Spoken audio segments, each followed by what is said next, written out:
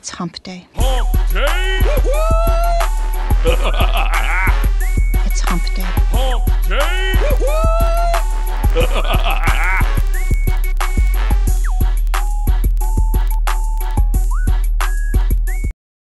Adam's not here. Okay, we're live. Hey, everybody, this is Bradley Benner with Semantic Mastery, and uh, the whole crew with us today, except we've got somebody that's impersonating Adam. Uh, it's not really Adam. So, anyways, it's uh, Hump Day Hangouts episode 134. It's 4 p.m.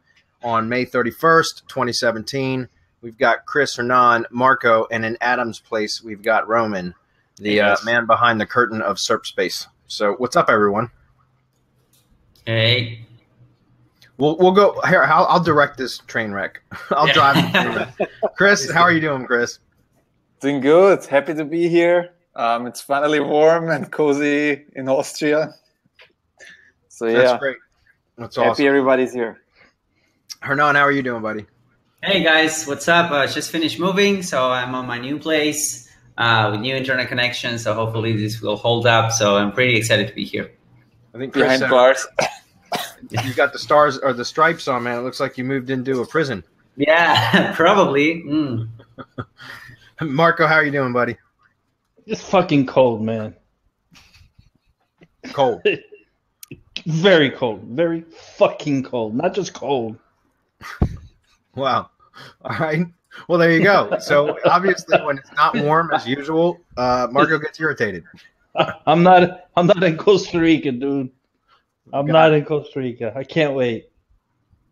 And then last but not least is uh, Roman, who is um, wearing the Adam mask at the moment. What's up, Roman? Ah, not too much. Been busy. Yeah. Yep. Well, we've got a ton of questions on the event page. Um, in case you don't see the event page, Roman, I can drop it to you in Slack. Do you have it by chance? Uh, no, I do not. Okay. Let me grab the URL and I'll send it over to you real fast. In Skype, I mean. I said Slack. I think. Sorry, guys. With Adam not here, I've got to do the heavy lifting. All right, cool. All right, a uh, couple of announcements. The only announcement that I know of um, is that we had a webinar with Bill Cousins last week uh, for Video Link Vortex, which is a really cool application that he created that um, basically automates the process of like siloing YouTube channels. Um, and you can also do multi-channel silos, so you can actually silo from one channel to another, as well as automate the process of setting up playlist silos. Uh, most of you guys should already have YouTube Silo Academy. If not, go check it out. It's only seven dollars, and the process that you know the method that we teach in that works really, really well uh, for building silos into YouTube channels using playlists, and it's super powerful. But it's very, very time consuming. I mean, I use it forever. I use silos every time I do a YouTube SEO project. I always end up using playlists and then build out the silos. But the actual interlinking between the videos within the silo or within the playlist, it's very time consuming. It's a pain in the ass. And if you're doing something like uh, the mono silo structure, where you're linking from one video to the next, then from that one to the next one to create like a, a, a daisy chain, that um, can be confusing, especially if you've got you know a handful of videos or or pl- more in a, in a playlist. So typically, what I what I have done in the past is just set up a, a spreadsheet and put in the URLs in the order in which I'm going to link from one to the next to the next because otherwise if you don't kind of plan it out ahead of time it becomes a pain in the ass. You end up missing a link somewhere. And then you have to go back through and check it all. It's a real it's just a time consuming um, process. So uh, bill cousins created video link vortex which is an app that actually automates all of that stuff with just a couple of clicks of a mouse. Very very cool uh, application. And we did a webinar last week. I'm going to send or drop the um, message into the page now guys if you want to go check it out. Also he just uh, issued a uh, discount, fifty dollar discount coupon. So I can already hear it already. A few people that might have already purchased it are going to say, "Well, I didn't get the discount." Well, just reach out to support. We'll work something out. Um, give you fifty dollar credit towards something else or whatever. We'll we'll figure something out. Um, okay, but he just issued this coupon, guys. So I'm going to drop this, guys. Just go check out the webinar that we did with them. You can see if it's for you. Um, you don't have to buy it, but obviously, if uh, if you're doing playlist silos and you want to save time, this is definitely the app. I mean, forget the and this is what I said in the webinar in case you guys see it. Even if um you know there's an SEO benefit for doing it, but put that aside, I mean, the whole reason why we do that is because of the SEO benefit. But the amount of time that you'll save from having to do this manually is totally worth the price, in my opinion. Because if I if, if I could if I could actually uh, account up all the time that I've spent building out silos and doing that interlinking process, man, it's um I should be ashamed of myself because I should have had a VA doing that stuff anyway. So anyway, go check it out. Besides that, do we have any other announcements? Hernan anybody? I think we should be good, Bradley. Okay, cool. Well, I'm gonna grab the screen and let's get into it then. We've got a lot of questions. Oh, one last thing. We've got the Syndication Academy update webinar number 12 uh, immediately following this, and got some pretty cool stuff that I want to show today that I'm going to share, guys. Um, I've spent the last three hours actually working on uh, some really cool stuff. So I'm going to share that with you guys, um, Syndication Academy members at 5 p.m. And it'll be about a 40, 45 minute webinar. So see you guys on that.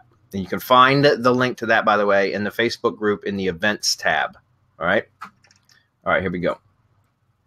Cool.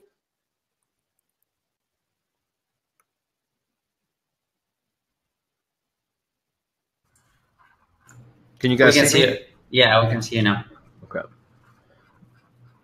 All righty, let's get into this. We got a lot of questions. So, uh, Gurpreet, I'm not sure if I pronounced that right. Forgive me if I did not. What time to give your clients to see results on low, average, and high authority search results? Um, you know, it depends. Most of the time for low and average, um, well, for low, I, I, you know, I always mention 90 days at least before we'll start to see any significant movement. And usually for low competition, within 90 days, I can, I can rank it right. Um, get in at least the three pack or something, uh, depending on what it is. For low competition, though, usually within 90 days, it's it's a slam dunk. It's not a problem. But I always say 90 days because I, I need to give. Don't you? It's better to give yourself more buffer room, um, and then over deliver. Over deliver. In other words, if you give yourself, like, say, it's going to be three or four months, but you know you can do it in six weeks. Don't say I'm going to do it in six or eight weeks because then what happens if it's a particularly difficult um, project, you know, for whatever reason. And remember, there's a random ranking factor. So because of that, it's better off. In my opinion, you're better off to um, give yourself more leeway, more time, and then uh, that way, if you perform well, if, if the project goes well and you get it done much faster, then that will just impress the client. You know what I mean? So for low low and average, I usually say about 90 days before you'll see any significant improvement. Um, and in high authority stuff, I always mention at least six months. If it if it's if it's tough or stiff competition, and I'm talking about on local level, guys, strictly on a local level. But I usually say it's going to be you know six months before we see any significant movement. We can start target, and I always mention you know we can target longer tail keywords and start getting traffic from those we can target for example local areas if it's like service area and stuff like that we can target neighborhoods or uh, you know districts and things like that so that we can catch some of the long tail lower competition traffic while we build on working towards the higher competition traffic sources but the other thing is remember i always recommend um, especially with seo projects now for any new client i always recommend starting off with a, a mix of both AdWords and SEO so that they can get results immediately from the PPC traffic while you're working on the SEO, guys. Because in my opinion, now um, now that I know AdWords, which I avoided for many many years,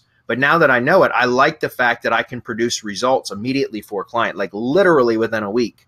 I can I can have leads coming in for the client uh, while I'm working on the SEO. So I like to factor that into my proposals now and just state right up front that a portion of whatever their monthly fee is going to be going towards AdWords while I work on the SEO because there's a lag time between the start date of the SEO project and when it starts to produce results. And in the meantime, I want to backfill that that time with uh, leads, and the only way that I know how to do that effect, very efficiently is with AdWords.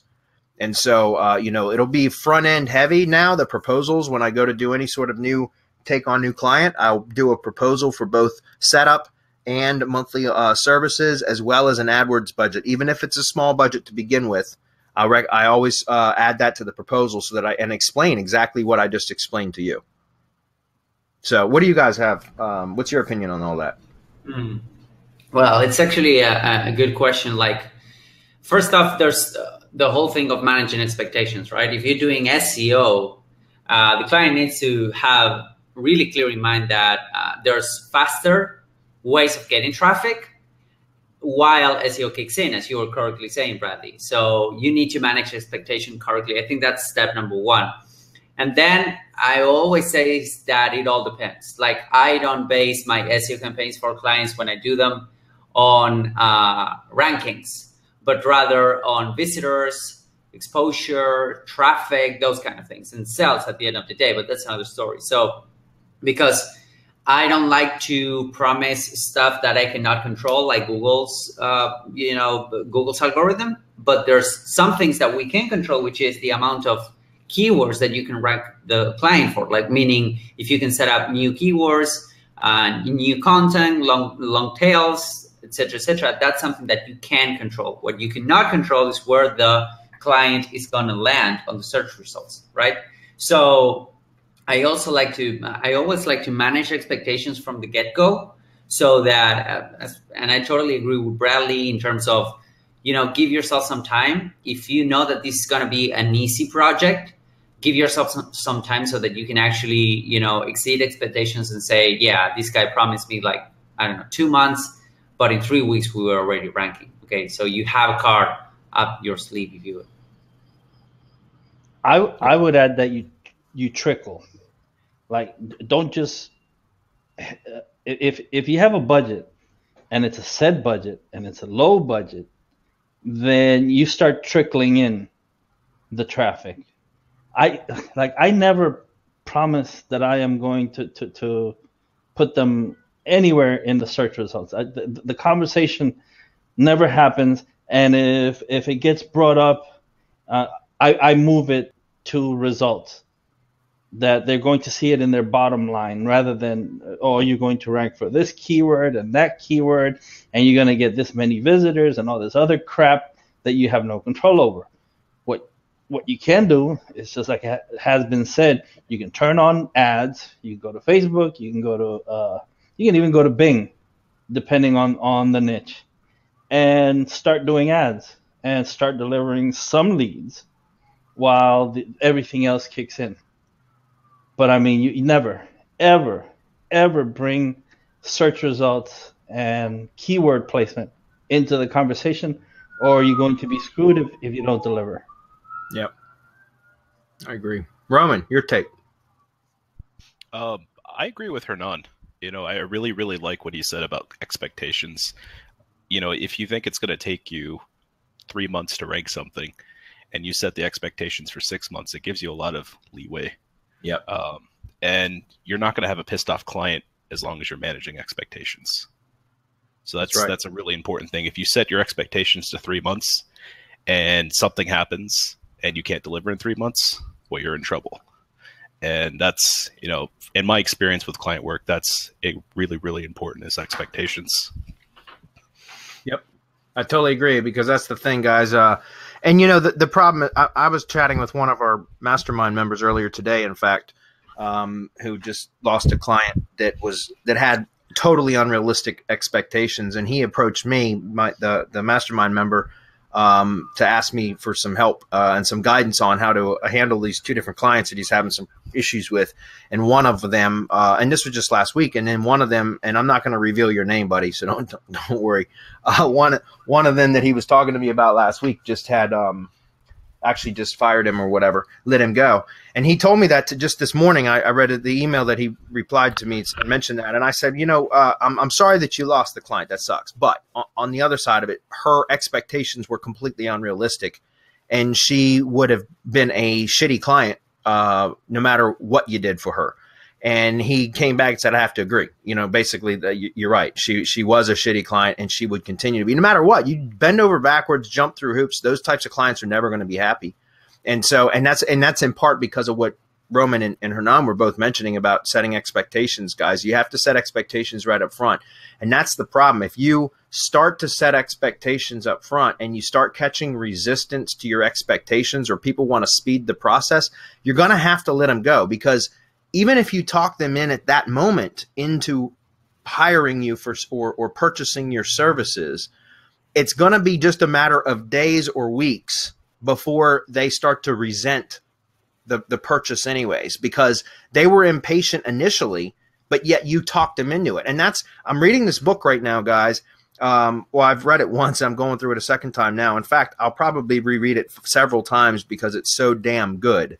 But it's uh, for anybody that's doing client work. Go get Bill. I think his name is Bill Good. Hot Prospects is the name of the book. You can buy it on Kindle for ten bucks.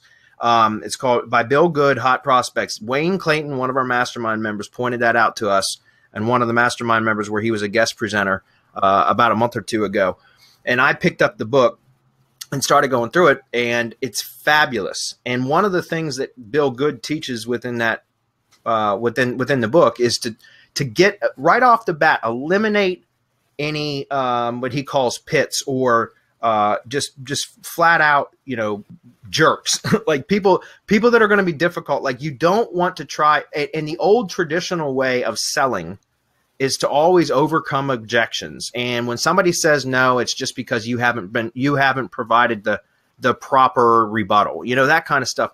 That's it i like bill's bill good's approach from hot prospects which is don't do that like if somebody kept, gives you resistance cut them knock them off the list, man. Go go for the go right for the next potential prospect because those people, even if you convince them to purchase your services or to hire you or whatever, they're never going to be satisfied and it's going to be a pain in your ass. And trust me, I've done it many, many times during the course of my career. And, uh, and I'm sure most of, most of those on this webinar now have done the same thing where they've followed the dollar instead of their gut, either gut feeling and it's caused them a ton of heartburn or or or, or a headache. And and I so I, again I totally recommend that you guys um, you know set expectations right up front, and that's also a great way to uh, qualify or disqualify a potential prospect for for services because if during the time that you're trying to set expectations you start to catch resistance doesn't mean cut and run right off the bat because you can still salvage a good um, sale at that point if it's just like a you know a, a minor um, issue or obstacle that can be overcome. But when it gets to like expectations, especially if you see, if you can tell that or feel that they're impatient and that kind of stuff, guys, I'm telling you, the best thing to do is walk away and go find another prospect. Um, you know, some will, some won't. So what? Someone's waiting, right? By the way, can we send him a, a shirt, a hat, or, or a book for best one sentence question question asked in, in Hump Day? Yeah, because we, are going on and on. This, this, is awesome, man. That's a great question. Yeah, it was a good question. Uh, yeah, some Hernan or somebody, can you take a note of that, and we'll uh, we'll send Gurpreet something. We'll sure. reach out to him. Awesome. Okay, Michael Boone's up. We'll try to roll through the next one faster. Sorry, guys, but I think it's a great question. When allowing SERP Space to create your single tier one syndication, do they create and set up each account? Yes, Michael, they do or would I have to do that? No, we we set all of the accounts up, and if they do, can I supply the accounts that I want to use to, that have already created?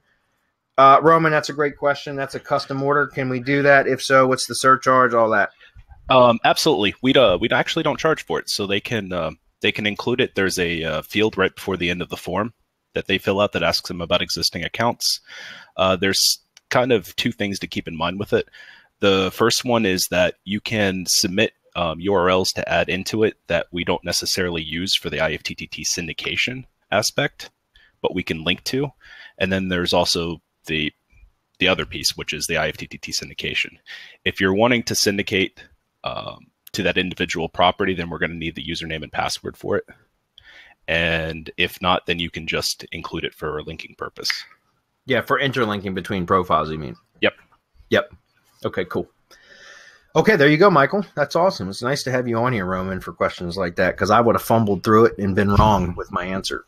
So, uh, okay, cool, Michael. Thanks. Uh, next is Wong. Is this is a pretty long question, but um, I read through it already, guys. I'm not going to read line for line through here. I'm just going to answer it. You guys all have access to the event page. You can read it yourself. But Wong, what I want to tell you right off the bat is don't ever try to deceive when you set up lead gen properties. Be honest about what the purpose of the site is I don't I don't lie, period, guys, to to uh, prospects or uh, contractor service providers, none of that, because it will bite you in the ass. Period. At some point, it's going to come back and bite you in the ass. So just don't do it. Don't lie. Be honest.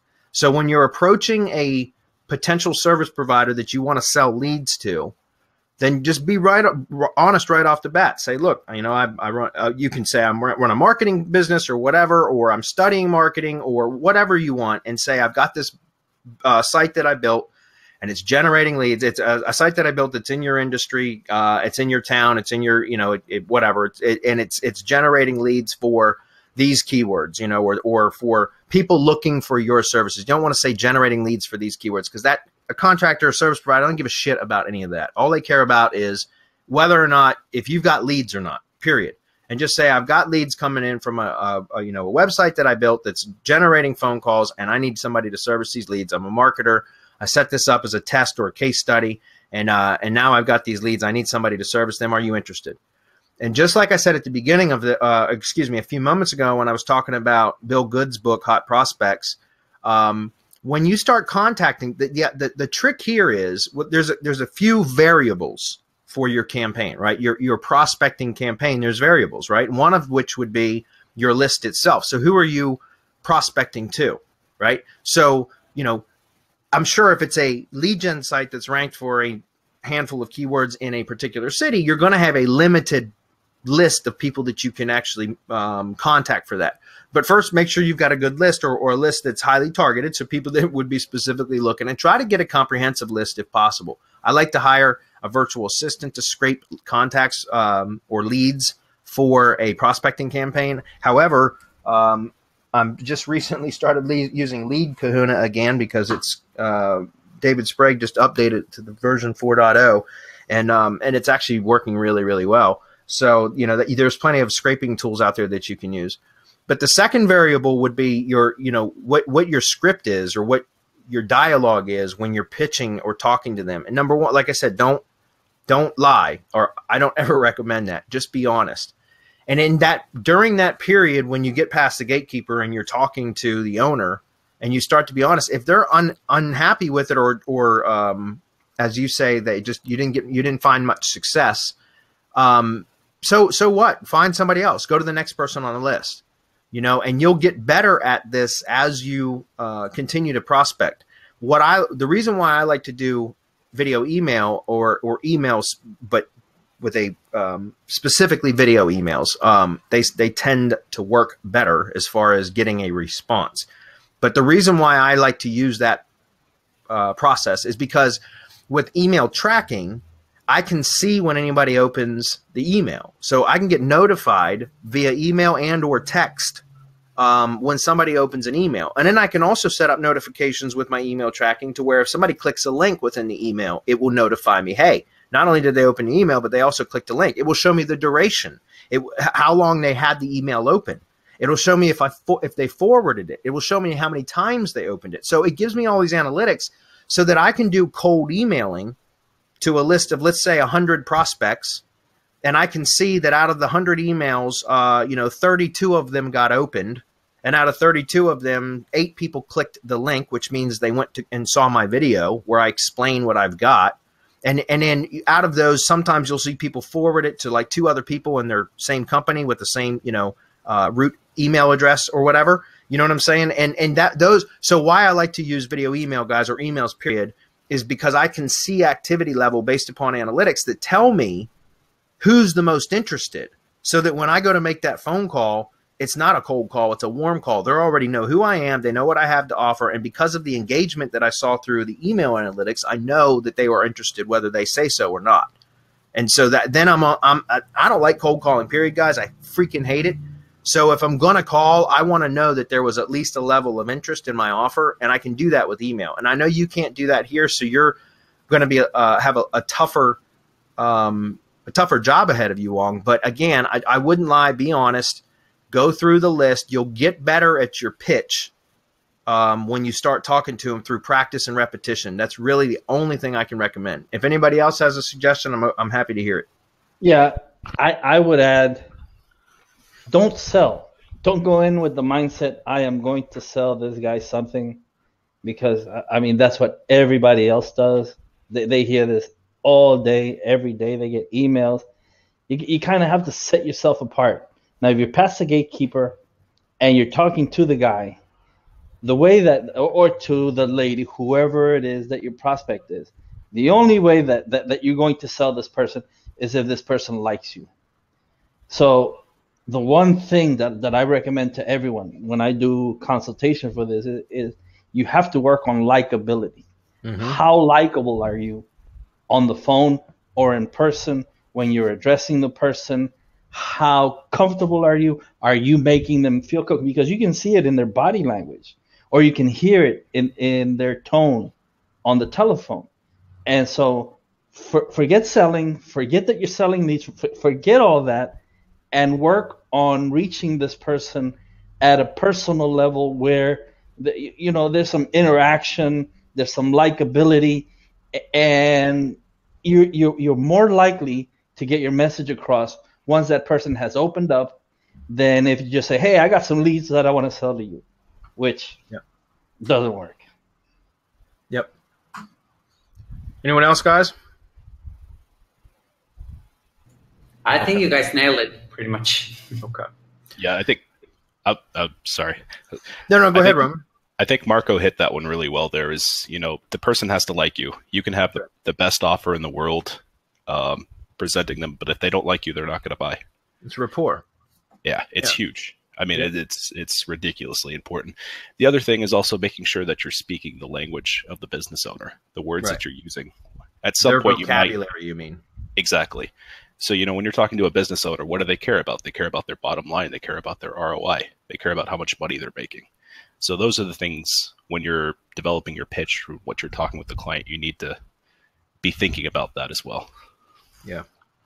And the last part of that is, um, you know, as far as uh, developing rapport, you know, just uh, that's part of the reason why I like using video email. Again, guys, is because if they open the email and then they click through the video, they get to meet me, so to speak, right? They get to know who I am because I I will typically do a screencast video where I'm explaining. Uh, you know, it, it depends. I've done v- many, many different ways, but I've done screencast videos where I might do like a, a site audit or something, or I'll do like a v- VSL video sales letter where it's just text across the screen and I'm reading it. Sometimes I'll do that with a combination of the video, uh, you know, like the webcam with the webcam showing in the lower corner of the video or something like that, so that they get a chance to meet me. I've also done just like headshots, talking heads, you know, where I'm talking into the camera. Um, and I've had a I've had different success levels with different methods, but again, it's about testing. And like Hernan just said, uh, likability and rapport is important, and that's why I like using the video email because you kind of build rapport even through a video because they get they kind of get to know you uh, a little bit. So when you do call, it's not a straight cold call; it's more of a warm call, and so I get better results that way. So and and and again, I know Wong Wong isn't doesn't really have much of that option, but that's for everybody else. All right. Uh, the second part is this: Do you offer a free amount of leads to the client before start charging them? Yes, I've done that many, many times. Um, because a lot of the times people don't think it's real until you can provide them with results, and so I'll send them, you know, three leads, four leads. It depends on what the leads are. Obviously, real high dollar stuff, I wouldn't send them more than one or two. Um, but oftentimes for like stuff that has smaller margins, I might send them three to five leads. Um, and I, I like to send them in real time. Like in other words, I don't like to send them leads. Like if I if I've had phone calls over the last week and I've accrued three or four or five leads in the last week, I don't like to send them those because those are stale leads at that point. What I like to do is once I've got the agreement that they're cool with me sending them a few leads, as I from that point forward, any new lead that comes in, to uh, I'll send to them up until the number that I promised, if that makes sense. And then always follow up with them on the leads that you send them. If you're going to send them a free lead, follow up with them after sending it to them, like within an hour or two hours, or what, depending on what the sales cycle is for that particular um, type of business. But you want to follow up with them after shortly after sending them a lead to find out if they followed up with the lead. Because if they're not following up with the lead, then there's no reason for you to continue talking to them or sending them any other leads. Does that make sense? So if you're going to send free leads, guys, it's really important to follow up on it to make sure that they got it. Number one, number two, that they're following up on the leads, so that, that that's what will sell them. By the way, because if you can tell them that, uh, you know, if you're following up and you find out like, hey, did you follow up that lead? Yeah, we did, and we actually got the job, and blah blah blah, or, or we scheduled an estimate, uh, you know, that kind of stuff. You say, hey, look, I've got another one coming. Um, you know, I'll send you one more or two more or whatever, and then we'll uh, we'll talk about um, compensation if it's a good fit going forward. So. All right, Alexander's next. He says, "Thanks for the always awesome content. You're welcome. I'll plus one that. My question is about maps. I have a client dentist that has a GMB verified uh, okay, local page, I guess his real place. It was showing for the terms like orthodontist and some others, but never for dentist. Then I deleted other categories like orthodontist and left only dentist. Now don't show don't show for orthodontist either. I click on the arrow to see more places, and even going on page three of map results, it isn't there. It appears only if I search for the name. Should I delete this one and start another GMB? No, I would go back. I mean, that I'm having a lot of issues with Google My Business stuff right now uh, as well, Alexander. Some some funky stuff. Um, I've had a couple listings that have recently just been filtered out, and I'm not sure why. And there's a way to test for filtering um, where if you go to the Google My Business and instead of just clicking on the, or excuse me, if you go to Google Maps and you search for your keyword where your uh, local page should be ranking for, or should be at least in the results, might not be, you know, ranking in the top, but it should be in the results somewhere. in the maps, the expanded maps, guys. I'm not talking about universal search. I'm talking about when you go to maps. And if you don't see it when it should be there on the pages that are listed, so like page one, and you can go down and hit page two, if you go back and do it again, start over, and then you click the plus button or the minus button to zoom in or to zoom out, if you see your listing appear all of a sudden after clicking the plus button or the minus button, if you see your, your listing appear in the maps search results, um, then it means that Google has applied some sort of filter to it. And that's why they're filtering it out from the uh, the search results and um, and I don't know how to fix that yet, but I've had a couple listings recently that that's happened to, and I'm working on some different methods, uh, testing different methods to see if I can get them to th- that filter lifted, and I'm not sure what causes that or how to resolve that. If somebody else knows and they want to share it with me, by all means, PM me, let me know. But um, as far I as would- that, I'll, go ahead. I'm sorry. Go ahead. Yeah, I, I would add a question. C- Can you get Alexander to, to the location or, or close to lo, to the location where the dentist is listed and do a search? Because I mean, the, the only way to be able to tell is actually the IP, how close you are, because we all know that local is now going to proximity. Yeah. And so that that would be one of the ways. And I wouldn't eliminate it. I would just go back, put it the way it was, so that at least it appears for orthodontist or whatever else. And isn't is is he in RYS Academy? No, I don't think he is. Because I would just tell him to to I, I would load up uh, a drive stack with dentist keywords with dentist relevancy and, and, and shoot it, shoot the loop, as I call it. Right?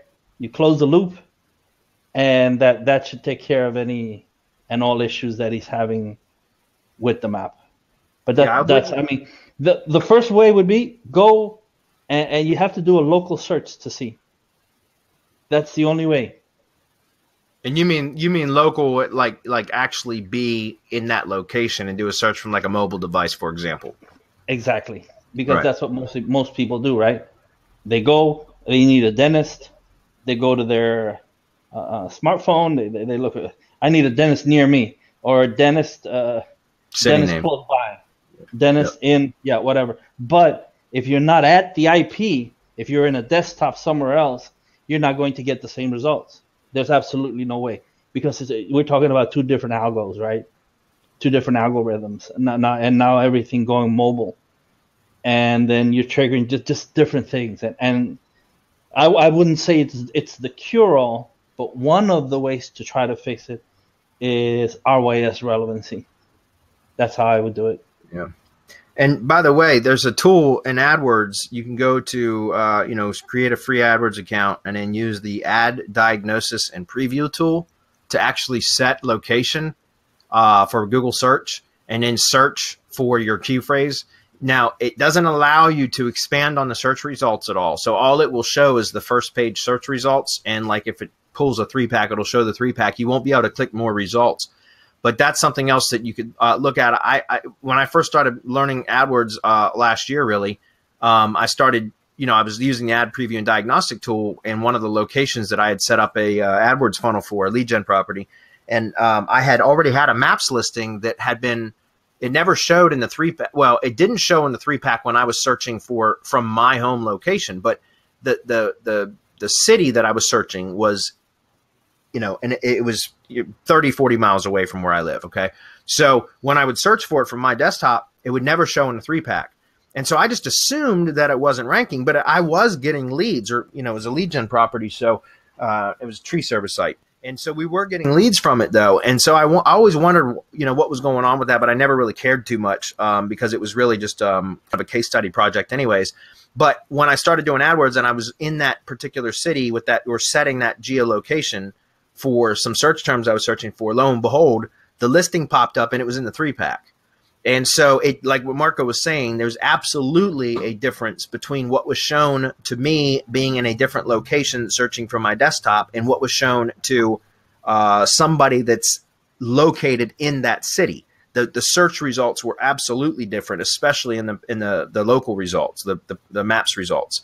And so uh, that's why I was getting leads. Now it's funny because now if I search from um, where I'm at in my location, and, and it still it's it shows in the maps pack. So I don't know what the deal is with that. But yeah, as far as uh, uh, what what Marco was saying, I would not delete the GMB page and start over. Don't do that. That's going to cause even more problems. Instead, uh, I would go back and, like he said, add the additional any any categories that the the business actually fits into. You should add those to your listing, in my opinion, because it gives you more opportunity uh, in the long run to rank. So God, you guys had some really good questions today. Big ones. Uh, all right, next one. Um, Salman says hi there. He's a new, I believe he's a new mastermind member.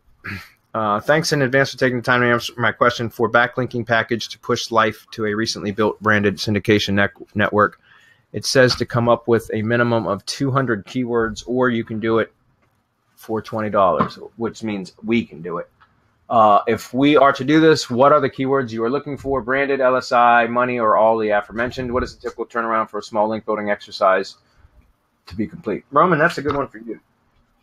Uh, yeah, basically on the uh, keywords, pretty much all of the above with what you just said there. Um, you definitely want to have lots of variation. Yes. Um, and it kind of think about what you're linking to as well you know with it. it. i mean obviously i think this is going to a syndication network so in this case you know you you're pushing the brand on the uh, on the syndication network yep. you know if it's a persona it might be a little little different um as far as the turnaround time it depends on if you order the the syndication network with it the syndication network will have to be completed before the link building can actually start so if you place an order for both of them uh, let's see. The IFTTT networks will, or syndication networks will typically be out in seven to 21 days as a rough range, depending on volume. And it's about the same for the link building as well. So, because it takes it takes time for the link building, you don't want to hit everything at once. No. Yeah, and so think about remember that guys. He's he asked specifically about building links to a branded syndication network. So we recommend including branded, uh, you know, um, brand terms for anchors as part of the keywords in that case, in that um, in this instance. However, if you are building links to a persona network, you don't want to do that. You you could use the persona name. That makes sense, right? Because again, you're linking to the syndication network properties of that persona. And a lot of the times that persona ring is going to be like, you know, John Doe dot blogspot.com you know that kind of thing. So john doe would work or john doe's blog or something like that. Um, but remember for syndication yeah you do want to add some brand terms in there. Okay? Go go broad as well guys. Don't go with long tails. I don't personally i don't like to do like long tail exact match keywords on link building packages to that kind of stuff. It looks a bit funny. I like to go broader uh, to where I'm, you know, targeting more the, the kind of like the the higher level, higher category level of keyword, so that I'm not going after like. And what I mean by that, guys, if like you're if you're trying to rank for plumbing services Atlanta, Georgia, I wouldn't have plumbing services Atlanta GA uh, as one of my keywords. Typically, I don't like to do that as much. I would rather have something like plumbing. Uh, plumbing services, plumbing repair, more general, more broad type category uh, keywords because uh, you got to think about where those links are being built to. And it just seems funny to go exact match like two and three steps away from your money site, in my opinion.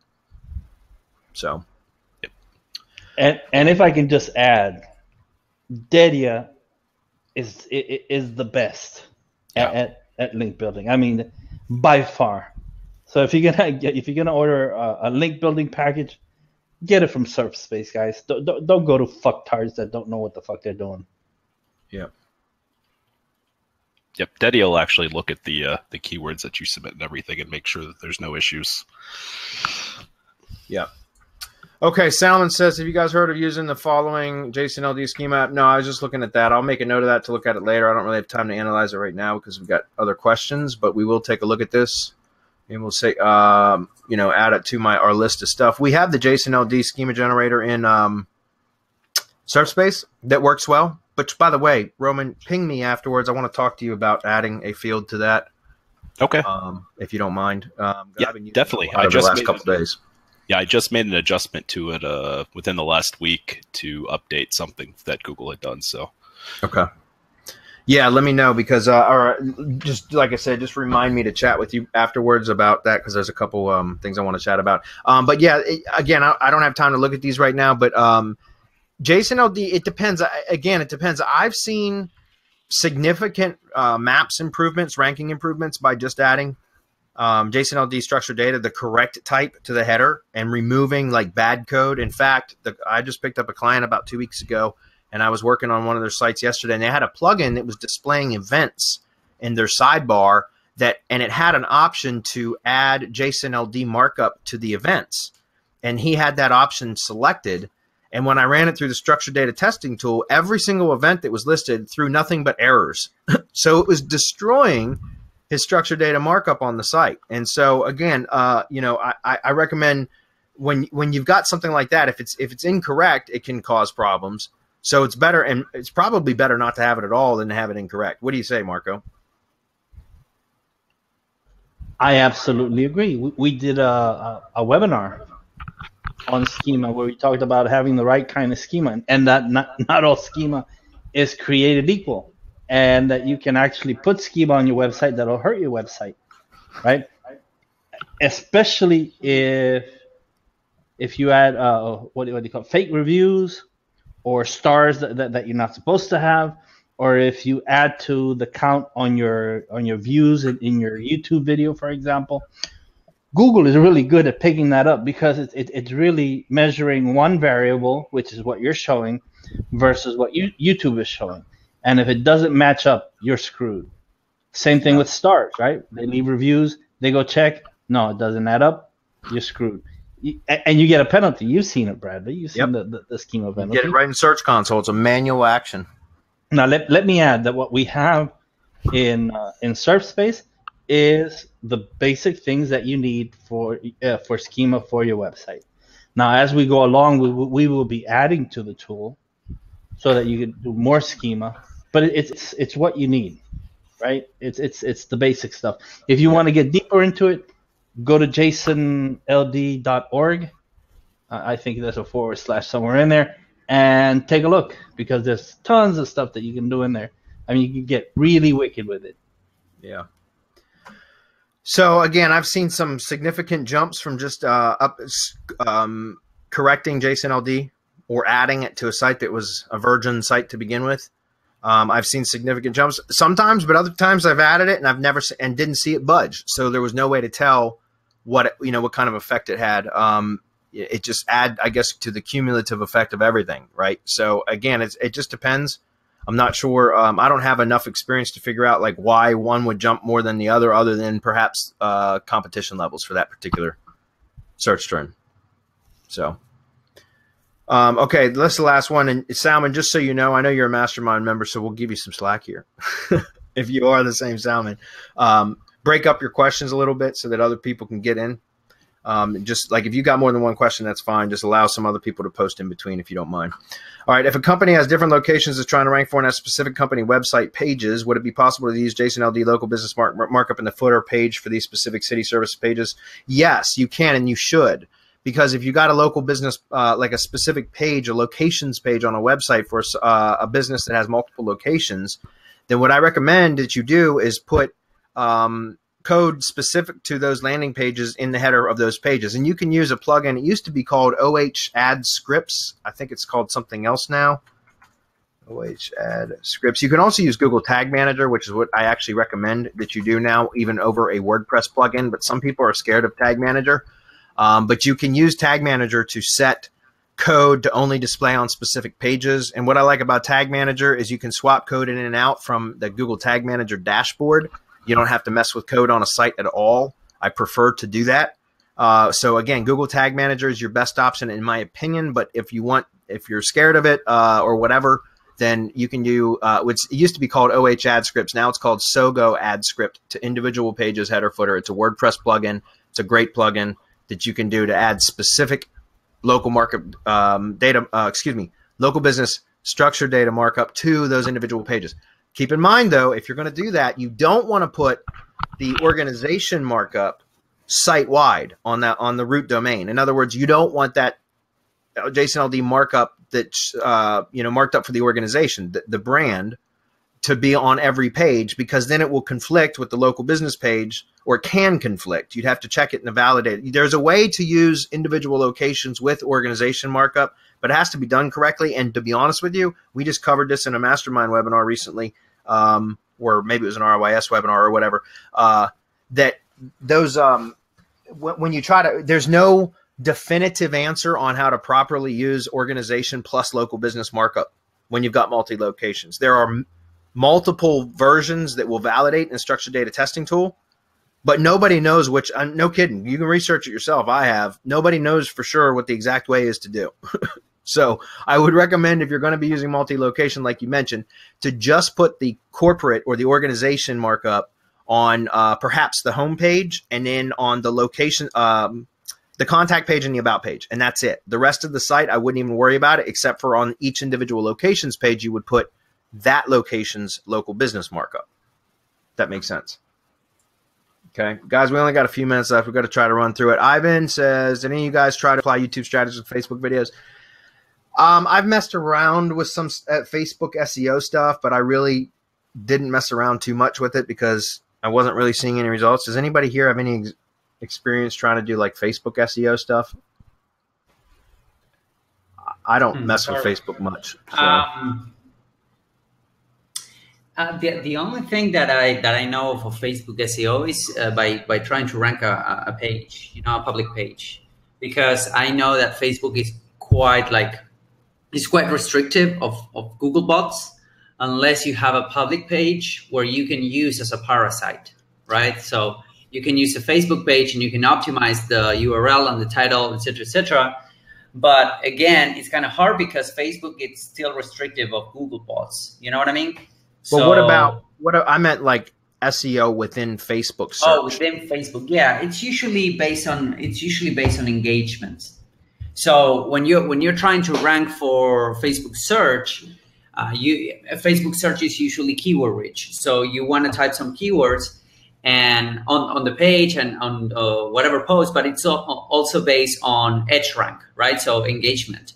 So usually, if you, if you wanna if you wanna push, uh, if you wanna push like um, a page uh, up to the top of, of, of Facebook algorithm on Facebook uh, search engine, what you need to do is to do some PPE campaigns like pay uh, uh, pay per engagement, right? So you get more engagement, and the more engagement you you get for the for the page and for the the, the um, whatever you're trying to rank, it's usually rank ranks better, you know. Yep. So Okay, there you go, Randy. We're gonna get two more real quick, guys, and we're gonna wrap it up because we gotta get ready for the Syndication Academy webinar. I want to get Randy's and Greg's question. Um, question on internal linking to the homepage. Google only counts the first link to any given page. So when you internally link to the homepage, do you remove the logo link that is usually the first link crawled and the place a contextual link back to? Randy, you, you're you're you're correct if you have in in one respect, but incorrect in another. If you have two links within an article body, the body of a post, right? Or a page, whatever it's, it's called the article body, that section, right? So contextual links, if you have two contextual links to the same page, the same URL, it's only going to count one. But from what I understand, that if they're two different URLs, they'll they'll count both links, even if they go to the same destination. So you could use like a 301 redirect URL, for example, or a different variation of the URL, like omit dub dub dub if the or or add dub dub dub to it, and it would still the, the you'd still end up getting credit for both links because it's a different URL. If it's the same URL, then you're right. It will only give credit to one, but that doesn't apply to the logo you link. That's different. That's not in the article body, right? That's in a different section of the page altogether. So uh, you're right when you were saying what you were saying, but that homepage link from the logo that's connected to the logo, Google knows what that is. The bots know what that is. They understand the layout of pages and how pages are assembled. So what they're looking for is the article body, the body section of the, the, the page itself. Does that make sense? Does anybody else have any conflicting um, info on that? I've got a small piece. Um, Okay. I agreed with everything you said. Um, the one thing I would change maybe is that concept of counts. You know, when he's referring to counts, I'm assuming he means you know passing power, juice, whatever you want to call it, into the into the destination page. But the thing to also think about is that it's also anchor text, right? So Google is going to count the anchor text as well. So if you have three links going to the same destination, it's going to count all three of those towards your anchor text ratios. Yeah. So that's Well, one another link will carry more SEO weight than the others, right? Then it's fir- the first, the very occurrence. first link. Yes. Okay, so guys, right. guys, you need to learn to use JavaScript links. You need to learn JavaScript. Fuck Google. enough said. We have seen better results from contextual internal linking, but going back to the homepage of either logo is just better user experience. How do you all build out? Um, yeah, I mean, again, it, it's entirely one of the one thing you can always do is add a call to action at the end of every page if you want to link back to the homepage or every post or wh- whatever it is, what other content you want to publish to your site. You can always, and, and you probably should be, writing a call to action within the post uh, at the end or, or or somewhere in the post itself that would point back to the homepage because uh, you know it, it make it, it, first of all it's a natural way to link back to the homepage because you can you can use the brand name as the anchor text for example or a keyword or a service or whatever you want or a click here generic you know whatever. Um, but also uh, you know that way it, it you if you were using that call to action as an opportunity to also direct the visitor to take an action you know what I mean? And so that's why I recommend that um, you know, you do that. If if I'm linking back, and a lot of times I don't always link to the homepage. I would from like silo headers, but usually from like within the silos, uh, supporting articles or posts. Or, so again, supporting pages or posts. I typically don't link back to the homepage, not unless there's a reason to, um, because I usually am trying to keep my silos very very tight. The the silo heading pages are the ones that I usually link back to the homepage. But again, it just depends. Okay.